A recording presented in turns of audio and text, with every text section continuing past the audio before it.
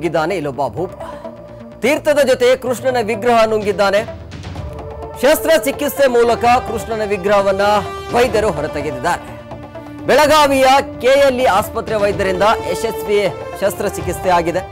ನಲವತ್ತೈದು ವರ್ಷದ ವ್ಯಕ್ತಿ ಮನೆಯಲ್ಲಿ ನಿತ್ಯ ಪೂಜೆಯನ್ನ ಮಾಡ್ತಾ ಇದ್ದ. ಪೂಜೆ ಮಾಡಿದ ಬಳಿಕ ತೀರ್ಥದ ಜೊತೆ ವಿಗ್ರಹವನ್ನ ನುಂಗಿದ್ದಾರೆ. ಮನುಷ್ಯನ ಕಂಠದಲ್ಲಿ ಸಿಲುಕಿರುವಂತಹ ಲೋಹದ ಶ್ರೀಕೃಷ್ಣ ಮೂರ್ತಿಯನ್ನ ವೈದ್ಯರು ಯಶಸ್ವಿಯಾಗಿ ಶಸ್ತ್ರಚಿಕಿತ್ಸೆಯನ್ನ ಮಾಡಿದ್ದಾರೆ. ಬೆಳಗಾವಿಯಲ್ಲಿ ಆಗಿರುವಂತಹ ಘಟನೆ ಇದು.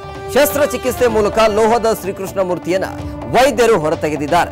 ಬೆಳಗಾವಿಯ ಕೆಎಲ್ಇ ಆಸ್ಪತ್ರೆ ವೈದ್ಯರಿಂದ ಯಶಸ್ವಿ ಶಸ್ತ್ರಚಿಕಿತ್ಸೆ ಆಗಿದೆ. ಎಕ್ಸ್ರೇ ಮಾಡಿ ನೋಡಿದಾಗ ಗಂಟಲಿನಲ್ಲಿ ಈ ಒಂದು ಮೂರ್ತಿಯನ್ನು ನುಂಗಿರುವಂಥದ್ದು ಗೊತ್ತಾಗಿದೆ. ಸೊ ಹಾಗಾಗಿ ಬೆಳಗಾವಿಯ ಕೆಎಲ್ಇ ಆಸ್ಪತ್ರೆಯ ವೈದ್ಯರಿಂದ ಯಶಸ್ವಿ ಶಸ್ತ್ರಚಿಕಿತ್ಸೆ ಆಗಿದೆ. ಬೆಳಗಾವಿಯ ನಲವತ್ತೈದು ವರ್ಷದ ವ್ಯಕ್ತಿ ಮನೆಯಲ್ಲಿ ನಿತ್ಯ ಪೂಜೆಯನ್ನು ಮಾಡ್ತಿದ್ದ.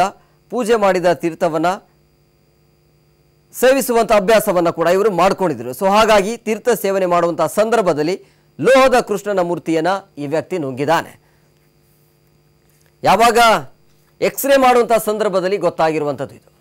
ಅಂತಿಮವಾಗಿ ಯಶಸ್ವಿಯಾಗಿ ಶಸ್ತ್ರಚಿಕಿತ್ಸೆಯನ್ನು ಮಾಡಿದ್ದಾರೆ ಅಲ್ಲಿನ ಡಾಕ್ಟರು. ಗಂಟಲು ನೋವು ಜೊತೆಗೆ ಊಟ ಉಂಟಾಗಿ ಸ್ಥಳೀಯ ವೈದ್ಯರನ್ನ ಇವರು ಸಂಪರ್ಕವನ್ನು ಮಾಡಿದರು. ಸೊ ಗಂಟಲು ನೋವು ಕಾಣಿತ್ತು ಜೊತೆಗೆ ಊಟ ಕೂಡ ಸರಿಯಾಗಿ ಹೋಗ್ತಿರಲಿಲ್ಲ. ಸೊ ಹಾಗಾಗಿ ಇವರು ವೈದ್ಯರನ್ನು ಕೂಡ ಸಂಪರ್ಕವನ್ನು ಮಾಡಿದರು. ವೈದ್ಯರ ಸೂಚನೆ ಮೇರೆಗೆ ಎಕ್ಸ್ರೇಯನ್ನು ಕೂಡ ಮಾಡಿಸಿಕೊಂಡಿದ್ರು.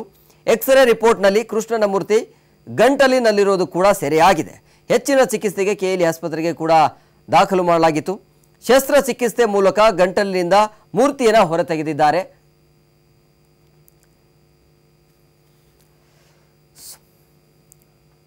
ಎಸ್ ಮನುಷ್ಯನ ಕಂಟಕದಲ್ಲಿ ಸಿಲುಕಿರುವಂಥ ಲೋಹದ ಶ್ರೀಕೃಷ್ಣ ಮೂರ್ತಿಯನ್ನು ವೈದ್ಯರು ಯಶಸ್ವಿಯಾಗಿ ಶಸ್ತ್ರಚಿಕಿತ್ಸೆಯನ್ನು ಮಾಡಿ ಹೊರತೆಗೆದಿದ್ದಾರೆ. ಶಸ್ತ್ರಚಿಕಿತ್ಸೆ ಮೂಲಕ ಲೋಹದ ಶ್ರೀಕೃಷ್ಣ ಮೂರ್ತಿಯನ್ನು ವೈದ್ಯರು ಹೊರತೆಗೆದಿದ್ದಾರೆ. ಬೆಳಗಾವಿಯ ಕೇರಿ ಆಸ್ಪತ್ರೆ ವೈದ್ಯರಿಂದ ಯಶಸ್ವಿ ಶಸ್ತ್ರಚಿಕಿತ್ಸೆ ಆಗಿದೆ. ಬೆಳಗಾವಿಯ ನಲವತ್ತೈದು ವರ್ಷದ ವ್ಯಕ್ತಿಯ ಮನೆಯಲ್ಲಿ ನಿತ್ಯ ಪೂಜೆಯನ್ನು ಮಾಡ್ತಾ ಇದ್ರು. ಆದರೆ ಇವರಿಗೆ ಪೂಜೆ ಮಾಡಿರುವಂತಹ ತೀರ್ಥವನ್ನು ಸೇವಿಸುವಂತಹ ಅಭ್ಯಾಸವನ್ನು ಕೂಡ ಇವರು ಮಾಡಿಕೊಂಡಿದ್ರು. ಆದರೆ ತೀರ್ಥ ಸೇವನೆ ಮಾಡುವಂತಹ ಸಂದರ್ಭದಲ್ಲಿ ಲೋಹದ ಕೃಷ್ಣನ ಮೂರ್ತಿಯನ್ನ ನುಂಗಿದ್ದಾನೆ. ಸೊ ಹಾಗಾಗಿ ಯಾವಾಗ ಇವರಿಗೆ ಗಂಟಲು ನೋವು ಅಥವಾ ಊಟದ ಒಂದು ಸಮಸ್ಯೆ ಇರೋದಾಗ ಆ ಸಂದರ್ಭದಲ್ಲಿ ಇವರು ವೈದ್ಯರನ್ನು ಕೂಡ ಸಂಪರ್ಕವನ್ನು ಮಾಡಿದ್ದಾರೆ. ಆಗ ವೈದ್ಯರು ಇವರು